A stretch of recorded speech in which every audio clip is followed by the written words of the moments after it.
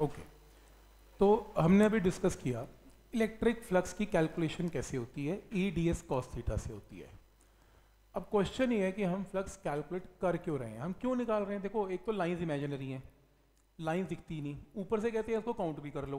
Count कहाँ से कर लें? तो पहले तो यानी फ्लक्स भी इमेजिनरी है। ये कौन सा कुछ निकलने वाला है? जब लाइंस ही नहीं है तो काउंट क्या करोगे? पर क्योंकि जब इमेजिनरी लाइंस हैं तो इमेजिनेशन में उसे काउंट भी कर देंगे। तो फ्लक्स कैलकुलेट कर क्यों रहे हैं? फ्लक्स इसलिए कैलकुलेट कर रहे हैं क्योंकि हमें पॉइंट चार्ज की वजह से ई e निकालना बहुत आसानी से आता है। रिंग की वजह से भी चलो बहुत बड़ी इंटीग्रेशन नहीं है, हमने देखा ई e हमने निकाल लिया। डिस्क का हमने नहीं किया। फिर उसी तरीके से अगर लाइन चार्ज है तो हमने नहीं किया। लाइन चार्ज की इंटीग्रेशन काफ़ी बड़ी थी, काफ़ी टेक्नोमेट्री यूज़ हो रही थी उसके अंदर। उसी तरीके से अगर मान लो, मैं आपको एक चार्ज फेयर दूँ और बोलूँ कि इसकी वजह से ई e निकालो तो आप कैसे करोगे? एक चार्ज फेयर है, वो भी volume wise distribution of charge है, जिसमें वॉल्यूम ही वॉल्यूम है। तो उसके अंदर क्या करोगे? आप कैसे इंटीग्रेशन करोगे थ्री डी बॉडीज़ के लिए? बहुत मुश्किल है। आप शेल की वजह से ई e निकालना चाहते हो। आप सपोज़ एक शीट है, एक शीट की वजह से ई e निकालना चाहते हो तो बड़ी कॉम्प्लेक्स इंटीग्रेशन हो जाएँगी। फ्लक्स का कॉन्सेप्ट आपको बहुत आसानी से ई e की वैल्यू निकाल के दे देगा। इन सभी फिगर्स का ई फ्लक्स निकाल के देगा आपको। इसलिए हम फ्लक्स को स्टडी कर रहे हैं ताकि हम कॉम्प्लेक्स इंटीग्रेशन को ना यूज़ करते हुए ये शॉर्टकट को यूज़ करें। राइट क्या ये पॉइंट क्लियर है?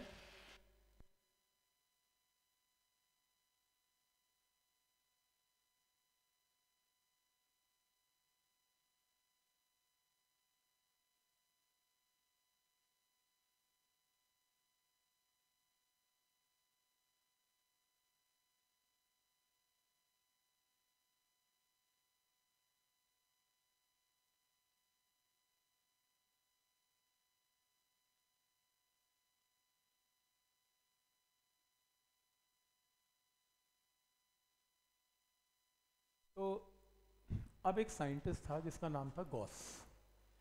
गॉस कहते हैं कि ठीक है, आपको फ्लक्स निकालना आ गया E D S cos theta आप निकाल लो। किसी बॉडी का निकाल सकते हो, कोई प्रॉब्लम नहीं है। गॉस कहता है कि अगर आपके पास एक क्लोज सरफेस है, एक क्लोज सरफेस है, जैसे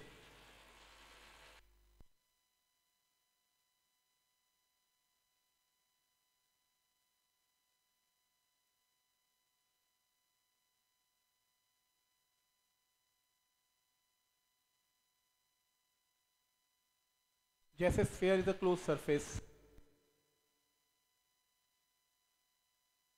shell is a close surface या cube is a close surface मतलब बंद होनी चाहिए। या कोई भी आर्बिट्ररी बॉडी जो बंद है इज़ अ क्लोज सरफेस तो गॉस कहता है कि कोई भी क्लोज सरफेस ले लो ओपन मत लेना। ओपन पे ये थ्योरम चलती नहीं है। तो कोई भी एक क्लोज सरफेस ले लो, चलो ये ले लो। इसके अंदर क्यू चार्ज लो, जहाँ मर्ज़ी रख लो क्यू चार्ज तो Q charge electric lines of force Q charge से ऐसे निकलेंगी।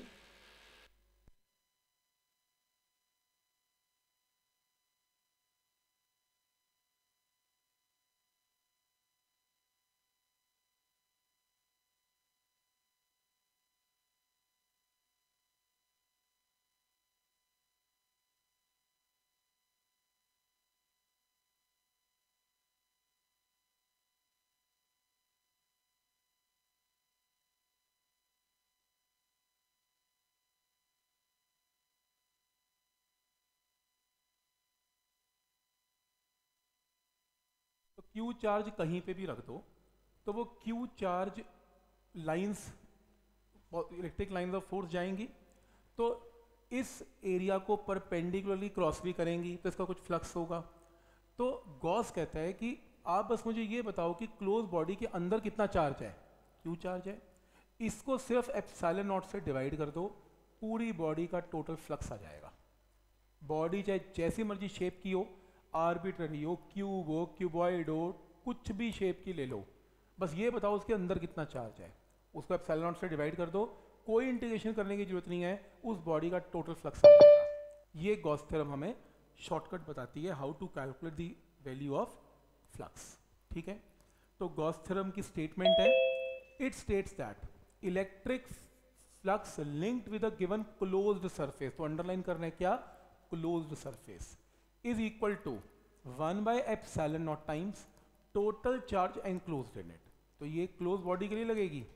तो हमारे पास अब फ्लक्स निकालने के दो तरीके हैं। ई डॉट डी एस की इंटीग्रेशन तो है ही है। क्लोज इंटीग्रेशन कर लेना यहाँ पे। वो तो है ही है। ये तो किसी भी बॉडी के लिए चलती है। ओपन क्लोज कोई चक्कर ही नहीं है।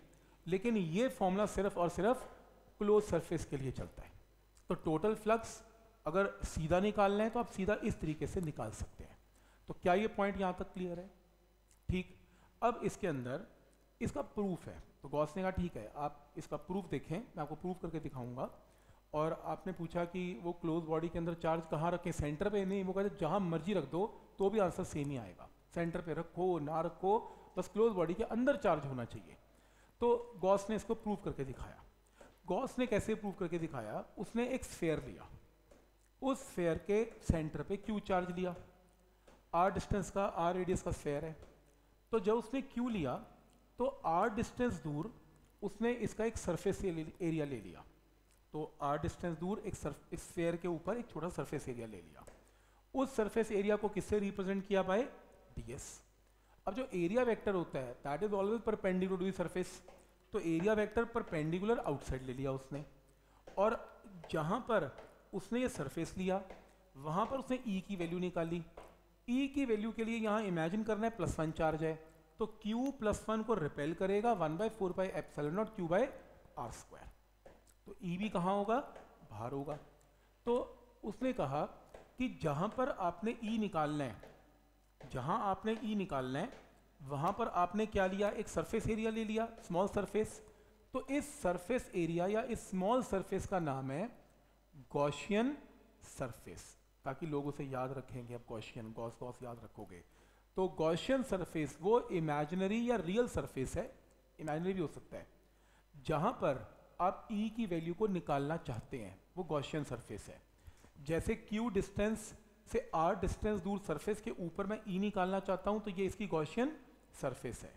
तो ऐसे ही अगर मैं यहाँ निकालना चाहता हूँ एरिया यहाँ लूँगा, यहाँ निकालना चाहता हूँ, यहाँ लूँगा यहाँ लूँगा और यहाँ लूँगा तो कई गॉशियन सरफेस आएँगे और अगर मैं सारी गॉशियन सरफेस को मिला लूँ तो इमेजिनरी क्या बनेगा? एक स्फेयर बनेगा। एक इमेजिनरी स्फेयर बनेगा। तो ये पूरा का पूरा गॉशियन सरफेस बनेगा। पूरा का पूरा एक इमेजिनरी स्फेयर बनेगा। तो क्या ये पॉइंट क्लियर है यहाँ तक? ये कंप्लीट गॉशियन सरफेस है। ये एक सिंपल छोटी गॉशियन सरफेस है। तो ये चीज़ क्लियर है। तो उसने कहा, ठीक है, आप फ्लक्स निकालना चाहते हो स्फेयर का, आप अपने तरीके से निकालो। मेरा तरीका छोड़ दो। फ्लक्स निकाल लो। तो हम कैसे निकालेंगे? पहले इस स्मॉल सरफेस एरिया का फ्लक्स निकाल लेंगे। कैसे निकालेंगे? E D S cos zero क्योंकि ई e और डी एस में एंगल तो ज़ीरो है। तो स्मॉल फ्लक्स को किससे रिप्रेजेंट करेंगे? डी फाइव तो डी फाइव क्या हो गया? E dot D S E D S cos zero तो ये स्मॉल फ्लक्स आ गया। टोटल फ्लक्स के लिए दोनों की क्या की? क्लोज इंटीग्रेशन जब क्लोज इंटीग्रेशन की तो इंटीग्रेशन ऑफ़ डी एस क्या आया? अब जो इंटीग्रेशन ऑफ़ डीएस में area DS DS DS DS सबको मिला लेंगे तो क्या आएगा आपके पास? Four pi R square. तो यहाँ पर क्या आ गया? Four pi R square. तो ये फ्लक्स आ गया। और ई आर डिस्टेंस पे कितना निकाला हमने? One by four pi epsilon naught Q by R square. तो यहाँ पर हमने वैल्यू को पुट किया, सॉल्व किया तो आंसर गॉस थ्योरम का वही आया, क्यू बाई एप्सल नॉट। तो गॉस थ्योरम ने क्या किया? गॉस थ्योरम ने इसे प्रूव कर दिया कि आपके पास अगर कोई क्यू चार्ज इसके अंदर पड़ा हुआ है तो टोटल फ्लक्स आप इंटीग्रेशन से भी निकाल सकते हैं। लेकिन आज के बाद आप इंटीग्रेशन निकालने की ज़रूरत नहीं है। आप बस ये देखें कि क्लोज बॉडी के अंदर कितना चार्ज है क्यू उसको एप्सिलॉन नॉट से डिवाइड कर दें, उस बॉडी का क्या आ जाएगा? टोटल फ्लक्स आ जाएगा। तो क्या ये पॉइंट क्लियर है? तो ये state and proof Gauss theorem आती है तो ये आपने इसमें करना है। और इसके अंदर जो इसमें गॉशियन सरफेस है पॉजिटिव चार्ज के आसपास गॉशियन सरफेस है नेगेटिव चार्ज अगर पॉजिटिव चार्ज पड़े लाइंस बाहर आ रही हैं नेगेटिव चार्ज है लाइंस अंदर आ रही हैं। ठीक है यहाँ तक? तो ये state and proof Gauss theorem है। अब क्वेश्चन एक और है। गॉस थ्योरम के अंदर कई लोग कहेंगे कि आपने सर यहाँ पर जान के एक स्फेयर लिया है। क्यों लिया है? ताकि आपको पता था कि स्फेयर का area four pi R square है। और आप यहाँ पुट करके फोर पाई से फोर पाई कैंसिल करके R square R square cancel करके आंसर आसानी से निकाल सकते हो। जबकि गॉस्थर ने कहा था कि कोई भी बॉडी ले लेना। चलो आप क्यूबॉइड पे करके दिखाओ। या कोई भी आर्बिट्ररी बॉडी पे करके दिखाओ, सेम प्रूफ। तो आपका area four pi R square आ ही नहीं सकता। तो आपका आंसर कैसे आएगा? तो गॉस ने आर्बिट्ररी बॉडी पे भी ये काम करके दिखाया। तो गॉस ने क्यूबॉइड पे भी करके दिखाया। वो हमने नहीं करना। एनसीईआरटी के अंदर सिर्फ़ ये वाली ये बॉडी है। पर अगर आप करना चाहते हैं तो ज़्यादा बड़ा काम नहीं है, पंद्रह बीस मिनट का काम है।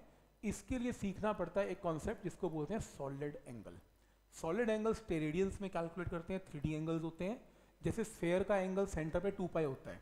पर सॉलिड एंगल हर तरफ़ से फोर पाई होता है। तो सॉलिड एंगल सिखाया जाता है। उसके बाद सॉलिड एंगल से इसका प्रूफ किसी भी बॉडी के लिए आर्बिट्ररी किया जा सकता है। इसके लिए मैं एक आपको वीडियो दूँगा, पंद्रह मिनट का ऑप्शनल है। तो आपके पेपर के अंदर ये प्रूफ जो एन प्रूफ आता है, वो आपका ऑप्शनल है, ज़्यादा बुक्स किसी बुक में गिवन भी नहीं है, बहुत कम गिवन है but objective point of view से अगर आप देखना चाहो सॉलिड एंगल क्या है तो आप देख सकते हो। तो मैं उसको आपको दूँगा। तो लेकिन हम क्लास मैंने शीट में भी इसमें डाला हुआ है, जब ये फ्लक्स खत्म हो जाएगा तो सॉलिड एंगल की थ्योरी दो तीन पेज की डाल रखी है उसमें। तो या तो फ्लक्स का पूरा ट्रैक ऐसे ही चलने दो। एंड में आपको ब्रीफ में बता दूँगा सॉलिड एंगल क्या होता है। और इसका प्रूफ भी ब्रीफ में बता दूँगा कि हमने इससे कैसे किया फॉर आर्बिट्ररी बॉडी अभी रिक्वायरमेंट नहीं है। ठीक? तो क्या ये पॉइंट क्लियर है? तो हमने क्या किया? गॉस थ्योरम की स्टेट एंड प्रूव किया। अब हमारे पास फ्लक्स निकालने के दो तरीके हैं। पहला तरीका ई डॉट डी एस है और दूसरा तरीका अगर बॉडी क्लोज है तो क्यू बाई एप्सिलॉन नॉट है। ठीक हो गया? अब जैसे ये कुछ फिगर्स हैं। इन फिगर्स में ये आपके पास एक क्यू चार्ज है क्लोज बॉडी में।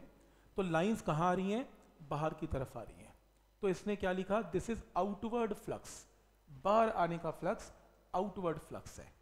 अगर मान लो ये आपके पास एक बॉडी है, जिसमें दो पॉजिटिव चार्ज हैं। दो पॉजिटिव चार्ज हैं तो ज़्यादा लाइंस बाहर आएँगी, ज़्यादा आउटवर्ड फ्लक्स अगर आपके पास एक नेगेटिव चार्ज है तो लाइंस इसमें एंटर करेंगी तो इनवर्ड फ्लक्स एंट्री करने का फ्लक्स ठीक है, यहाँ तक ये इनवर्ड फ्लक्स अगर दो नेगेटिव चार्ज है तो ज़्यादा लाइंस एंटर करेंगी तो ज़्यादा फ्लक्स इनवर्ड फ्लक्स ज़्यादा होगा। अगर एक पॉजिटिव और नेगेटिव इक्वल चार्जेस हैं तो पॉजिटिव चार्ज लाइंस को बाहर भेज रहा है।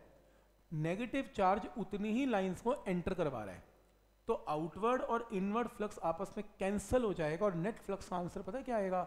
ज़ीरो क्योंकि फ्लक्स तब काउंट होता है जब लाइन ने एक बार उसको क्रॉस कर दिया, या तो जाते हुए या आते हुए। अगर लाइन क्रॉस कर रही है, एक बार एंटर कर रही है और एक बार एग्जिट कर रही है तो फिर नेट फ्लक्स उसका ज़ीरो माना जाएगा। ठीक? तो इस केस में ये आपके पास मान लो एक शीट है। आगे बॉडी पड़ी हुई है। जैसे मान लो ये बोर्ड है बोर्ड एक चार्ज बॉडी है शीट है। मैं एक बॉडी हूँ। लाइन निकलती है, मेरे बॉडी में एंटर करती है और बाहर से निकल जाती है। तो मेरा फ्लक्स ज़ीरो है। क्योंकि जो लाइन एंटर कर रही है, वही लाइन बाहर निकल गई बॉडी में से। तो इनवर्ड फ्लक्स आया, उतना ही आउटवर्ड आ गया तो नेट ज़ीरो तो क्वेश्चन आता है पेपर में कि इनवर्ड फ्लक्स अगर फाइव वन है आउटवर्ड फ्लक्स अगर फाइव टू है तो नेट फ्लक्स क्या है? इनवर्ड फ्लक्स जो है वो पॉजिटिव है, आउटवर्ड फ्लक्स इसमें नेगेटिव है तो दोनों का subtraction, phi one minus phi two, कुछ ऐसे करना है। तो पॉइंट समझ में आ रहा है, माइनस करना है। अगर बराबर लाइंस आ रही हैं, बराबर बाहर निकल रही हैं, फिर ज़ीरो करना है। पर अगर फ्लक्स डिफरेंट है, फाइव वन, फाइव टू तो सब्ट्रैक्शन करना है। क्या है पॉइंट क्लियर है यहाँ तक? ठीक। तो ये आपका इलेक्ट्रिक फ्लक्स है और गॉस थ्योरम है।